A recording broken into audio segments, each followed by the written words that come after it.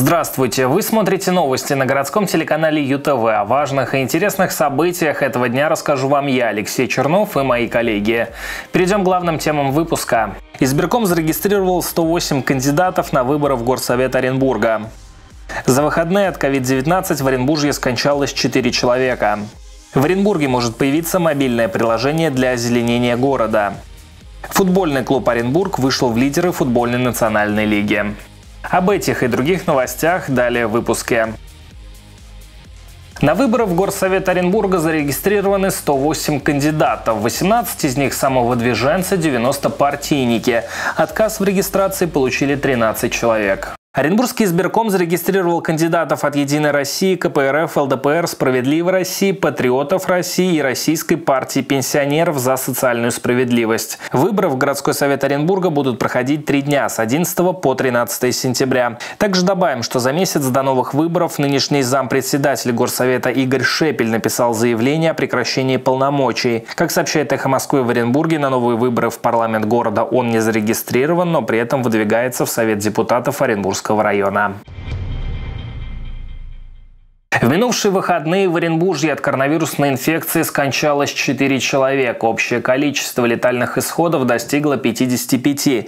Однако в опубликованном отчете Росстата количество умерших от COVID-19 не совпадает с данными регионального Минздрава. За сутки в Оренбурге выявлено 104 новых заболевших и 20 выздоровевших. Всего в регионе заразились коронавирусом почти 8 тысяч человек. В минувшие выходные скончались 4 человека из Оренбурга, Орска и Гая. Отмечу, что шестую смену в лагере «Город детства» отменили из-за коронавируса. Ранее инфекция там подтвердилась у трех отдыхающих. Как сообщает «Эхо Москвы» в Оренбурге со ссылкой на опубликованные данные Росстата, за июнь 2020 в Оренбургской области от коронавируса скончались 23 человека, тогда как в региональном министерстве здравоохранения и федеральном штабе сообщили лишь о 11 умерших. Также в отчете Росстата указаны еще 13 человек, у которых был положительный анализ на COVID-19, но умерли они по другим причинам. Как сообщили в пресс-службе Минздрава Оренбургской области, данные Росстата Росстата публикуются, исходя из выданных свидетельств о смерти. Затем цифры корректируются с учетом установления основных причин летальных исходов и информации Центра по мониторингу ситуации с коронавирусом.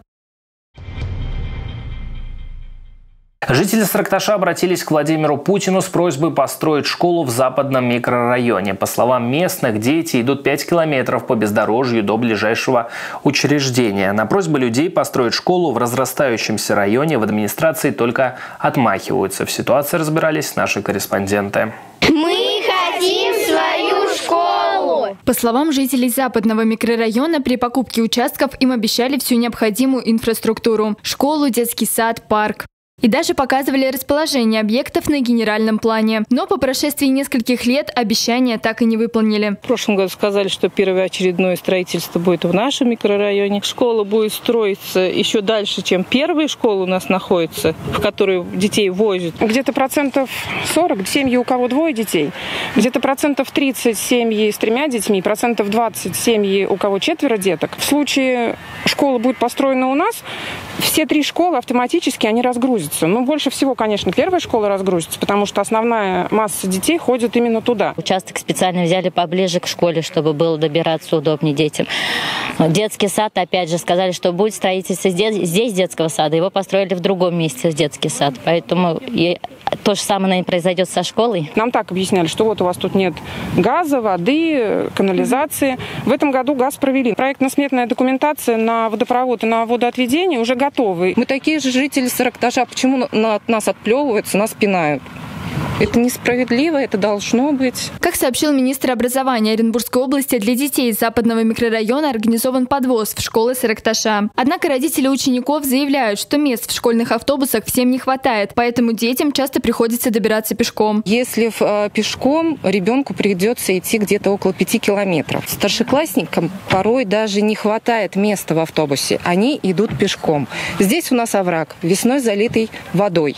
Пройти невозможно. Детям приходится приходится идти по трассе. На 15 минут у меня вот в прошлом году средний ребенок опаздывал, пока я уже к директору не обратилась. Говорю, сколько можно ему опаздывать? Говорю, делайте, говорю, какие-то, э, что по очереди они опаздывали. Школа далеко, детей много. Раньше-то ладно, у нас было народу не так много. То есть с соседями договаривались как-то. Кто-то забирает друг друга, допустим, довозит. Вот так вот толпу собирали и везли. На данный момент в Сырыкташе планируют построить образовательное учреждение рядом со школами номер 2 и номер 3. Региональное Минприроды передало земельный участок для строительства школы на 500 учащихся. Сейчас разрабатывается проектная документация. Точных сроков строительства новой школы в центре Сырыкташа в Министерстве образования пока назвать не могут. В этой новой части речь шла о школе, рассчитанной максимум где-то на 300 обучающихся, то сейчас в самом Сырыкташе а, несколько сотен детей вынуждены обучаться во вторую смену. То есть элементарно не хватает мест в школах Саракташа, чтобы ребята имели возможность обучаться в первую смену все, во вторую уже тогда посещать секции, клубы, кружки. Министр образования Оренбургской области сообщил, что к вопросу о школе в западном микрорайоне Саракташа вернутся лишь после строительства учреждения в центральной части поселка. Алексей Пахомов не исключил появление комплексного объекта образования в новом районе. Однако жителей западного микрорайона такой вариант не устраивает, ведь непонятно, сколько еще времени дети будут ждать школу рядом со своими домами. Анастасия Клесова, Олег Николаев, городской телеканал ЮТВ. Россияне старше 40 лет получат дополнительный выходной для прохождения диспансеризации. После осмотра работник должен будет предоставить работодателю справку о прохождении комиссии.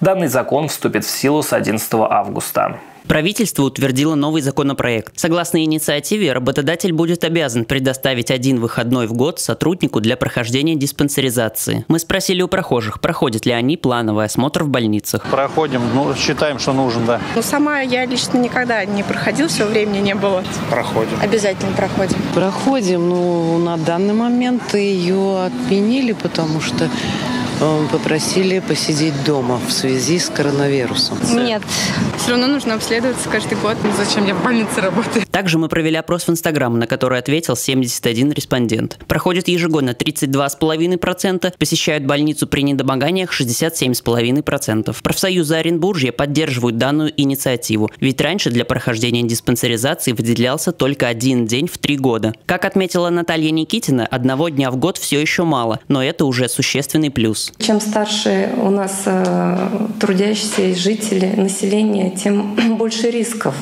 А у нас э, стоит одна из задач э, уровень жизни населения поднять до 78 лет. Вот, соответственно, все законопроекты, в том числе, рассматриваются по оздоровлению. По словам академика РАН-иммунолога Вадима Покровского, россияне молодого возраста пренебрежительно относятся к своему здоровью. Он считает, что диспансеризация позволит выявить болезни на ранней стадии, когда пациенты еще не чувствуют недомоганий. Дмитрий Щанкин, Никита Плотников, городской телеканал ЮТВ. Многодетная семья стала жертвой мошенников. По их словам, они купили автомобиль у автошколы «Клаксон», в ходе чего совершили несколько ошибок при оформлении, чем решили воспользоваться недобросовестные продавцы. Подробнее в материале. Родители троих детей долгое время откладывали деньги на автомобиль. После совершения покупки выяснилось, что Нина Леонова допустила некоторые ошибки при заполнении договора купли-продажи, поэтому стороны решили заменить его на новый. Однако, как утверждает семья, сумма увеличилась в полтора раза по сравнению с изначальным договором. Он берет этот старый договор, который мне отдавали несколько дней вот до этого. Он, получается, его берет, мне новый отдает. Но там сумма другая, там 60 тысяч. То есть мы покупали за 40. Через несколько дней мне, когда второй договор привозят, там 60 сумма. То есть э, я говорю, почему 60? Они говорят, ой, да какая разница, поедешь да переоформишь. Спустя полгода супруги поехали оформлять транспортное средство в ГАИ, но по дороге попали в ДТП. После чего правоохранители изъяли у них автомобиль из-за неверно оформленных документов. Позже машину машину вернули, семье выдали доверенность на управление транспортным средством. Но на этом проблемы семьи не закончились. За это время, пока шло разбирательство, Клаксон пере, ну, восстановил документы по утере, перепродал машину. То есть приехали тут головорезы, ну, действительно, там дяди такие здоровые, это тоже все видеофиксация имеется. Идите отсюда. Вы меня не трогайте. Вы меня не трогаете, я вам еще раз говорю. Вы меня не трогаете. Вы меня не имеете Затем приехали сотрудники полиции и вновь изъяли транспортное средство. Как сообщила Нина Леонова, местонахождение автомобиля неизвестно, а деньги за автомобиль семье так и не вернули. Если действительно, как вы говорите, что э, автошкола продает один и тот же автомобиль двум разным людям, то это уже имеет под собой признаки э, состава уголовного э, преступления, предусмотрено статьей 159 Уголовного кодекса Российской Федерации, а именно мошенничество. В избежании попаданий в трудные ситуации специалисты рекомендуют досконально проверять транспортные средства перед покупкой и внимательно заполнять все нормативно-правовые акты, которые касаются сделки купли-продажи. Оформить автомобиль необходимо в течение 10 дней с момента покупки. Александр Кацун, Никита Плотников, Максим Марарь, городской телеканал ЮТВ.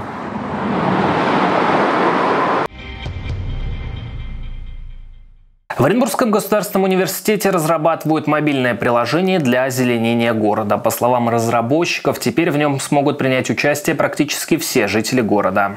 Скоро помочь в озеленении города сможет каждый. Достаточно будет лишь установить приложение на смартфон. Идею разработали специалисты ОГУ. По словам Марины Глуховской, оренбуржцы смогут фотографировать малоозелененные места, которые затем будут анализироваться экспертами. Идентифицировать видовые насаждения, конечно же, это возможно только с помощью привлечения жителей. Это раз. Во-вторых, определить проблемные территории, которые требуют дополнительного озеленения. Два. И вот здесь вот нужны жители. По словам Марины Глуховской, одной из задач является сделать зеленые зоны более функциональными, чтобы, например, около новостроек была посажена не только трава, но и различные виды деревьев и кустарников. Экологи считают, что зеленых насаждений в городе должно быть больше. А как оренбуржцы оценивают состояние озеленения в городе, мы спросили у прохожих. Нормально.